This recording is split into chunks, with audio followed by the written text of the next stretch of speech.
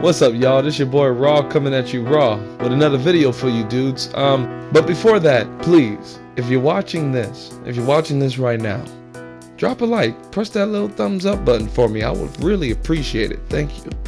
Look, I know you guys looking at the title, and you've been probably, if you were following me in other videos, like this guy's gonna get the division, he's happy, he's gonna do it. I changed my mind. Let me say this. I hate pre-ordering games. That's like me um, saying, "Hey, pre, pre, like, okay, all right, I'm about to do a job for you. Hey, give me all the money for the job, and um, next month I, I'll do it.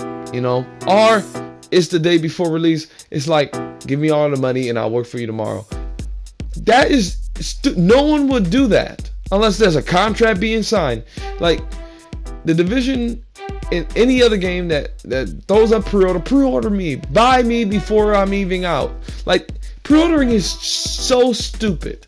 I don't care if there's deals and exclusive stuff you can get with pre-ordering.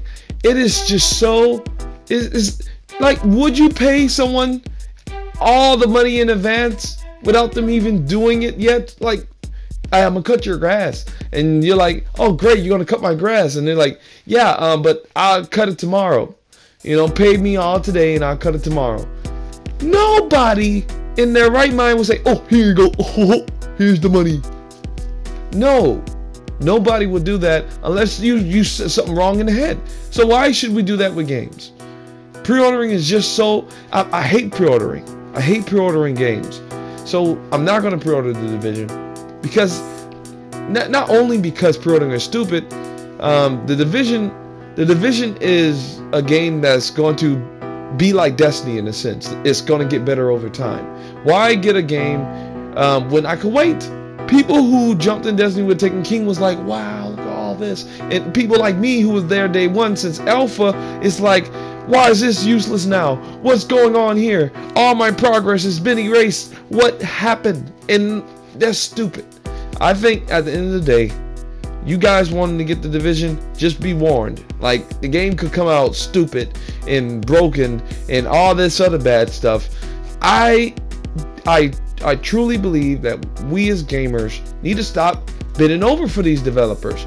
We need to say the game better be complete at launch and with the division's case, like they got expansion packs that's going to come out throughout the year and into next year like to be honest, I would advise you to wait till next year to buy the division when it's completed, like Game of the Year edition, like how Taken King was, including House of Wolves, Dark Below, and all that other stuff. And being a better game, Destiny got better, and it's at the, after the first year, and I have no doubt in my mind the division will too.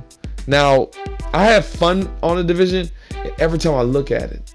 Every time I look at it, like on videos or whatever. Like they're having an IGN first right now of the, of the division this month, and every time I look at it, I'm like, bruh,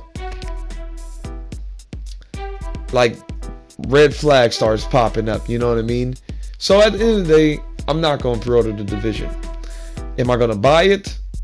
Shucks, man. Um, like I said, I would advise you guys to not buy it until next year. But as a content creator and, and, and wanting to have content on my channel, I may pick it up later.